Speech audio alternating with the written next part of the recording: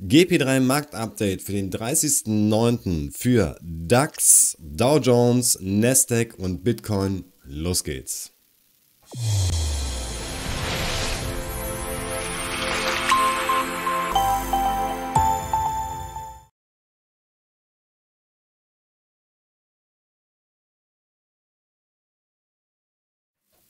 So, alright, fangen wir immer an mit dem DAX, gucken uns an, was der DAX hier macht, beziehungsweise wo der DAX äh, ja vielleicht hingehen könnte. So, wir sind ja erstmal im Daily, also im Tageschart. Was sehen wir hier? Wir sehen, wir haben hier einen klaren Aufwärtstrend ne, im Tageschart. Äh, neues Allzeithoch am Freitag gesehen und der Markt schraubt sich weiter nach oben. Also von daher DAX im Tageschart definitiv long unterwegs. So, gucken wir uns aber den Stundenchart an. Wie sieht es im H1 aus? Das ist ja der interessantere, wichtige Chart. Zumindest wenn es jetzt um Daytrading, Intraday Trading geht. Ähm, wir sehen, wir sind hier auf hohem Niveau. Wir sind heute auch schon beim ATH, kurz vom ATH äh, gescheitert, bewegen uns aber natürlich auf hohem Niveau in der Nähe des Allzeithochs. Möglicher Support hier unten bei der 19.400, 19.350. So, und bewegen uns jetzt hier in so einer Seitwärtsphase. Hier oben gibt es natürlich keine wirklichen Widerstände, weil da war der Kurs, da war der Markt noch nicht, von daher kann man da auch keine Widerstände so wirklich ableiten, beziehungsweise hier GP3 kann keine Widerstände errechnen. Gucken wir uns den M15 an, vielleicht sehen wir irgendwas im M15, also im 15-Minuten-Chart.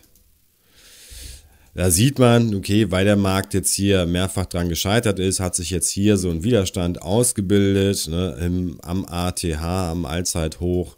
So möglicher Support, den wir auch schon im Stundenchart gesehen haben, 19.400, 19.350. So, mögliches Szenario, wir sind jetzt hier in einem kleinen Abwärtstrend im M15, aber ne, der Markt ist wie gesagt long unterwegs. Mögliches Szenario, wir laufen hier nochmal auf die 19.400 auf und dann äh, schraubt sich der Markt wieder nach oben. Also momentan der Markt seitwärts zwischen diesen zwei Polen, Support unten bei der 19.400, 19.500, äh, oben der Widerstand beim Allzeithoch. Sollte der Markt, sollte der Kurs hier durchbrechen durch diese Supportzone, haben wir die nächste Supportzone hier unten bei 19.260 bis 19.230. So, also Markt seitwärts äh, im DAX oder der DAX ist seitwärts mit leichter Tendenz nach oben für mich für heute. So, gucken wir uns den Dow Jones an. So, was sehen wir im Dow Jones? Sehen wir was im Dow Jones? So, der Dow Jones ist ein bisschen schwierig, finde ich momentan. Ganz einfach deshalb, weil wir uns auf sehr hohem Niveau hier in so einer Range äh, befinden.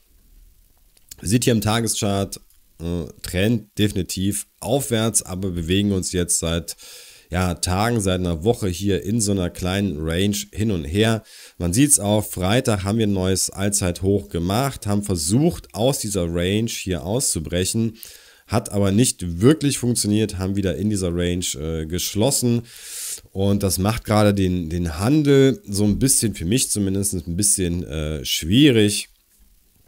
Klar, wenn man jetzt äh, ne, irgendwie Range Trading betreibt, kann man gut mitnehmen, aber ich habe es ja an diversen Stellen schon äh, öfters erwähnt, dass ich jetzt nicht unbedingt so der Range Trader bin. Von daher für mich so ein bisschen schwierig der Markt jetzt gerade, der Dow Jones, weil er halt ja sehr viel äh, hin und her läuft und nicht unbedingt jetzt mal so eine längere Strecke am Stück macht.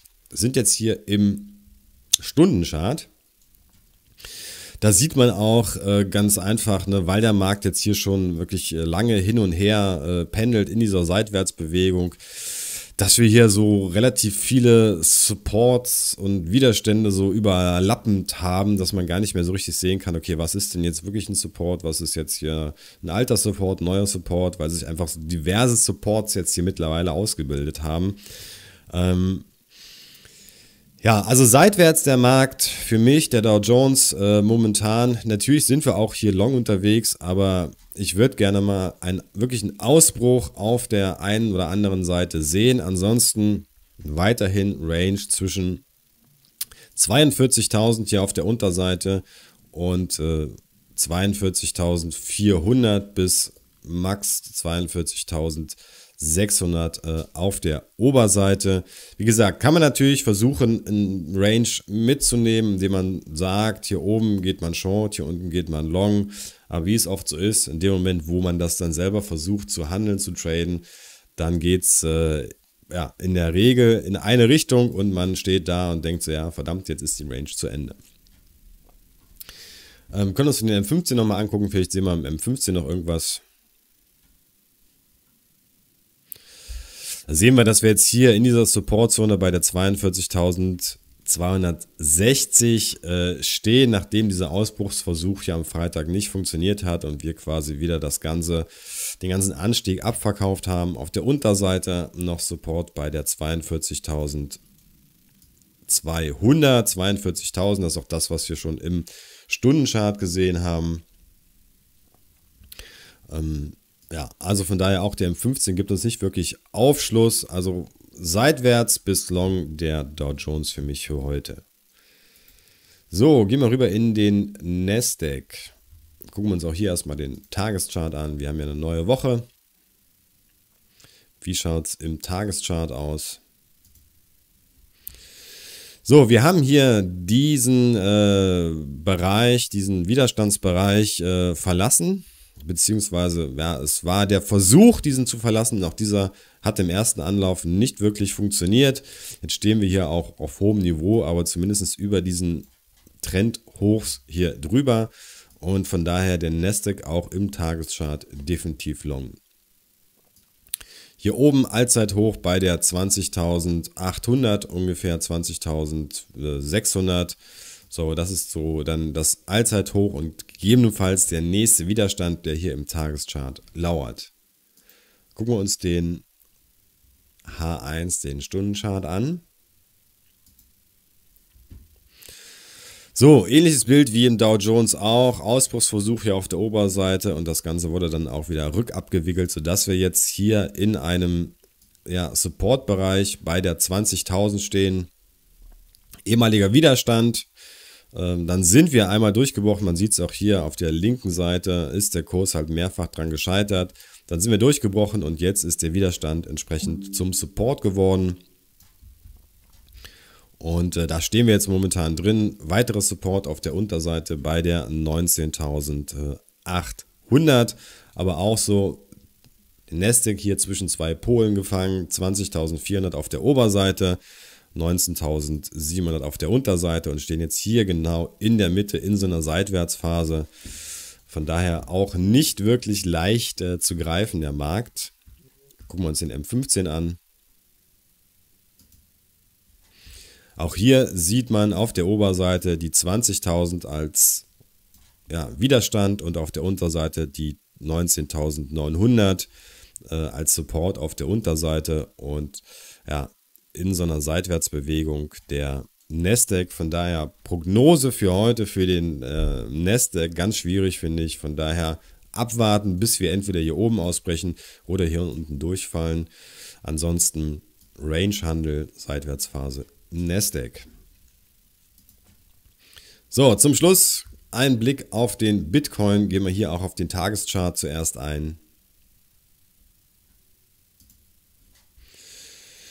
So, Bitcoin äh, gescheitert hier am Widerstand bei der 66.000, was aber ganz äh, gut und ganz äh, schön äh, zu sehen ist, dass wir auch hier einen Aufwärtstrend haben. Wir haben hier diese Hochs äh, überschritten, auch per Schlusskurs überschritten. Das heißt prinzipiell Bitcoin erstmal im Tageschart long. Gucken wir uns den H1 an.